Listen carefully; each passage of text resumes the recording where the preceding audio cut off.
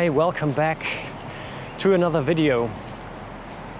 You join me here in the city of Hamburg in Germany and I am out with my camera without a plan of any sort. I've picked one area of town to walk through, to spend a couple of hours in, and just went out to see what I can find. And today I also want to talk about how you can improve your approach to street photography or any kind of general photography for that matter by just following a couple of tips. So without further ado, let's get into the video.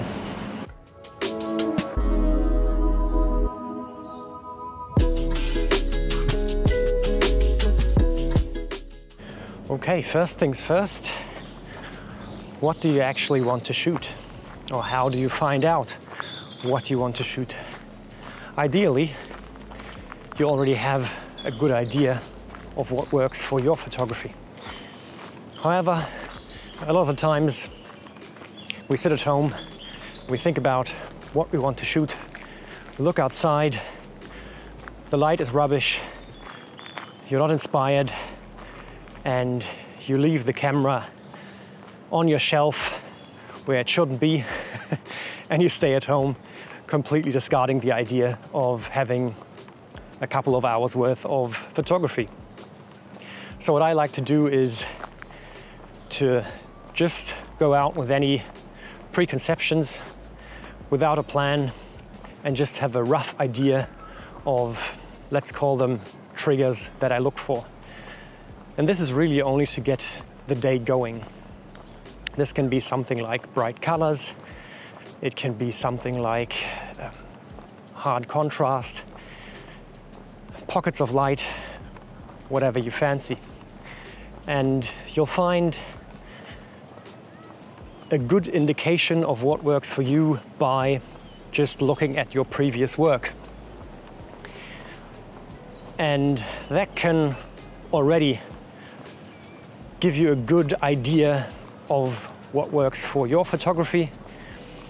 But if not, you know, if you look at your work and there's nothing there that inspires you or that you can kind of a pattern, can see kind of a pattern that's evolving or not, then just use simple things, you know.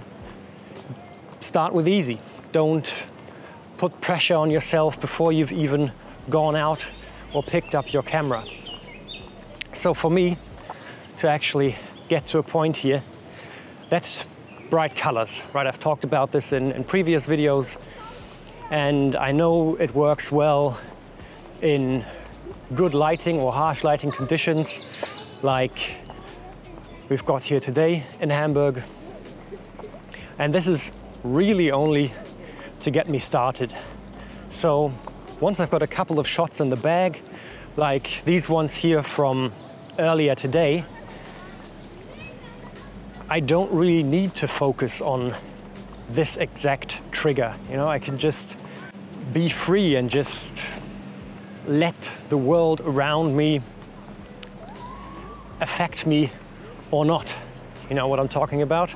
So doing that will make it a lot easier to just get the day started or to initiate your photography outing.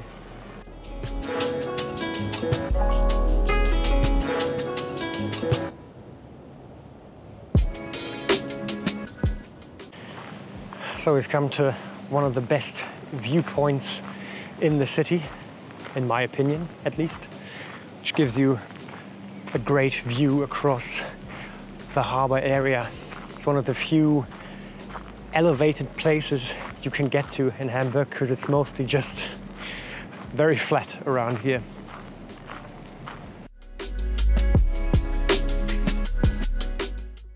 Okay, tip number two. It's uh, less of a tip, but more of a call to inspiration and to persevere. So let's say you actually picked up your camera, you're out in the streets or you're out in nature, it doesn't matter, and you feel super inspired and motivated only to realize that you're not getting anything usable within the first 30 minutes. And this is something that happens a lot, and I think that happens to photographers regardless of skill level. And therefore, don't beat yourself up about it. You know, don't put your camera back into the bag where it just came out from. Keep it ready, persevere, stay outside, walk around a little bit more, and in most cases, you'll find something worth shooting sooner or later.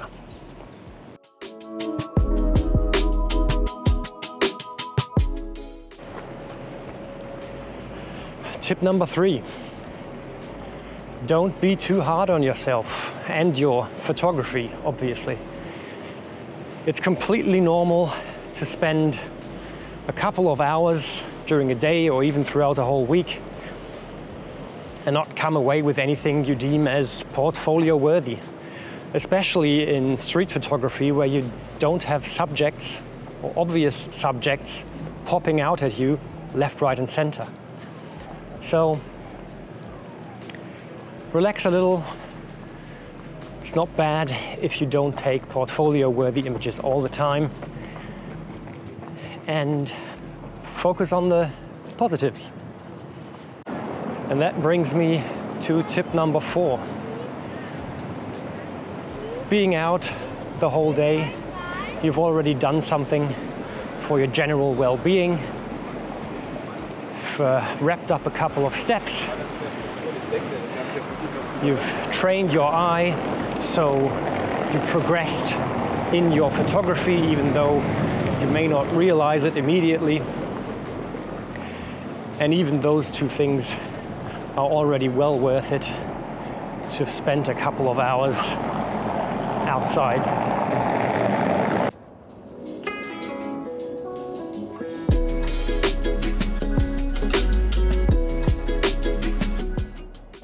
Tip number five, make it a conscious effort to actually build a habit of going out with your camera. That can be, or start with bringing your camera when you're on your way to work or back from work. That can be having your camera with you when you go out visiting family and friends. Things like that. And it can go as far as treating photography like a workout, for example, where you've got fixed days where you just go out for an hour and over the repetition you build up a habit that can then lead to you getting out more easily and more consistently.